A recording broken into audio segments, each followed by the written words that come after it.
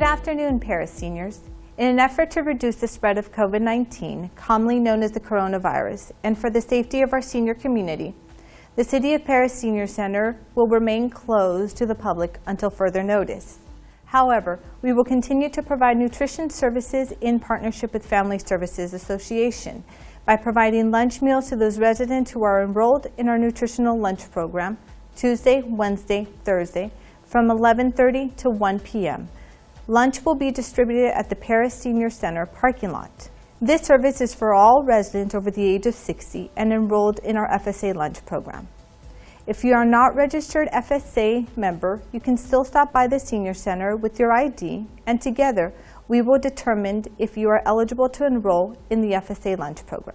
For information on homebound meals, please call the Office on Aging at 1-800-510-2020.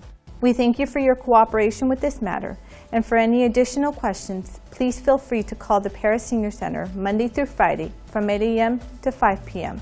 at 951 657 7334.